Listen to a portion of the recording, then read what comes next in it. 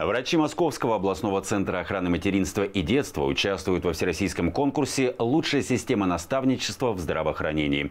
Проект проходит в нашей стране уже в третий раз, и его главная цель – показать, какую значимую роль играет преемственность профессионального опыта.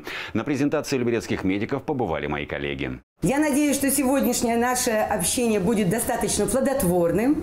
Мы расскажем о себе, послушаем ваши вопросы и надеемся, что мы будем лидерами в этом конкурсе. Во всяком случае, мы для этого приложили много усилий. Второй этап всероссийского конкурса проходит в дистанционном режиме. С командой отделения хирургии новорожденных через экран знакомятся ведущие эксперты страны. Коллектив хоть и молодой, но уже готов поделиться опытом наставничества. Обучаем Обучаем врача по системе э, пятиступенчатого алгоритма. Первое – я расскажу, а ты послушай.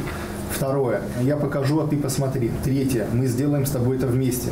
Четвертое. Сделай сам, а я подскажу, проконтролирую. И пятое. Ты сделаешь это сам и расскажешь мне все, что ты сделал. Свой доклад врачи и медсестры Московского областного центра охраны материнства и детства дополнили презентациями и видеороликами. Конкурсанты не только показали, как принимают в коллектив молодых специалистов, но и рассказали о работе отделения в целом. Единственному в Московской области центру, где оказывают любую хирургическую помощь новорожденным, новорожденным есть чем гордиться. В среднем за год здесь спасают около 700 малышей, в том числе с редкими патологиями. Врачей, которые проводят уникальные операции, выращивают в самом отделении. На первом этапе проводится тщательный отбор соискателя на позицию детского хирурга.